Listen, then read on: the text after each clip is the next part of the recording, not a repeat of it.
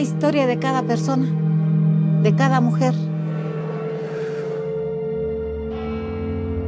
Es una película sobre tres generaciones de mujeres que digamos, cada una a su manera luchan por reafirmar su independencia, su autonomía en, esta sociedad paternalista. Em, es la historia de Marina, la abuela, y Perla, la nieta, que cada año van a un retiro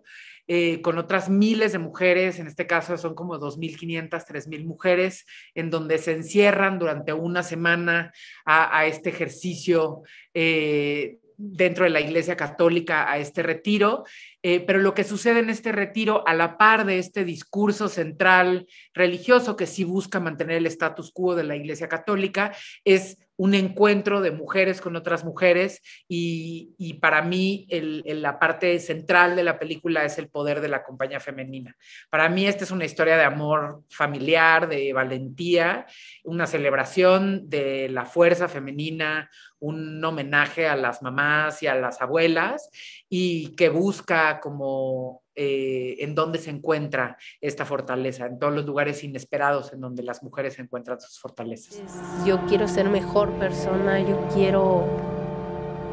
yo quiero mejores cosas. Hay como un intercambio de experiencias de vida y un acompañamiento y un arropamiento y,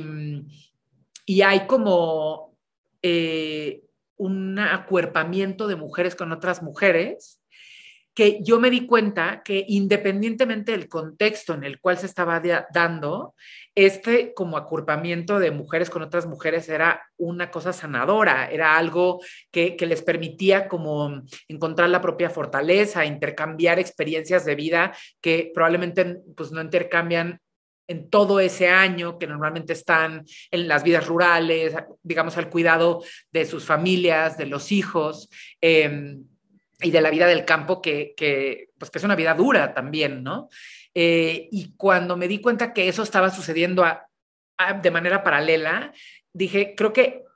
ahí es donde está mi película y también está como en la tensión que hay entre que estas dos cosas que pudieran parecer opuestas o que muchas veces son opuestas eh, estén sucediendo al mismo tiempo en un espacio y qué pasa en esos lugares de tensión, ¿no? De pronto, no sé, pienso en, una escena en donde el, sacerdote les está, les está pidiendo que recuerden todos los momentos en donde han sido como lastimadas eh, y, y, es una escena en donde, en donde ellas tienen como que perdonar, ¿no? Y entonces es, una cosa muy dura como pedirle a alguien que, ha sufrido abuso y, trauma que perdone, ¿no? Así, de, la nada. Eh, y lo que sucede en esa escena es que de pronto hay un abrazo de miles de mujeres colectivo y, yo sí creo que, que acuerparse entre mujeres es una, es una experiencia sanadora, ¿no? Que sientes afuera a veces o frustración de tu vida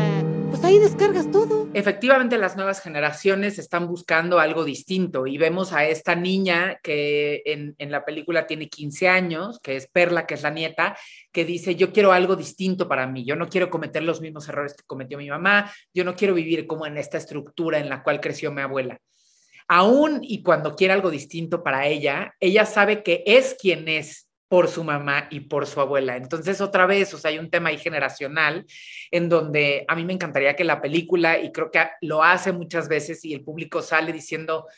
hubo espacios en donde yo me pregunté quién es mi mamá, quién es mi abuela, quiénes son como estas generaciones de mujeres que me preceden, eh, digamos, seamos mujeres o seamos hombres, ¿no? O sea, quiénes son como esta, quién es la compañía femenina que, está en tu vida, ¿no? En la de Alex, en la de Daniela, em, y, cómo esta compañía femenina también es poderosa. Entonces, obviamente hay una, una búsqueda por, por a lo mejor algo distinto, pero esa búsqueda también proviene de de, quiénes son nuestras mamás y nuestras abuelas. Entonces creo que el tema generacional me era muy importante como, como tratar de mostrar que, las nuevas generaciones quieren algo diferente,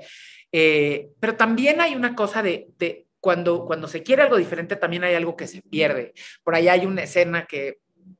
en la que están estas tres generaciones eh, bajando como fruta de un árbol, ¿no? Y, la nieta está ahí como tratando de bajar la fruta del árbol y la abuela le dice, híjole, mija, es que ni parece que eres de campo, ¿no? Este, en una cosa como medio, burlona y medio bully, y luego le dice, no, porque mira, la luna en realidad funciona así, y, y, los estados de la luna, y tú siempre vas a tener que plantar aquí, porque si plantas acá, pues no le vas a atinar a nada. Y entonces te das cuenta también que hay un, que hay un tema también de conocimiento de la vida rural y del campo, que, que, probablemente se va a perder en las nuevas generaciones que quieren otra cosa. O sea, que, que hay cosas que se ganan y se pierden en este tema generacional.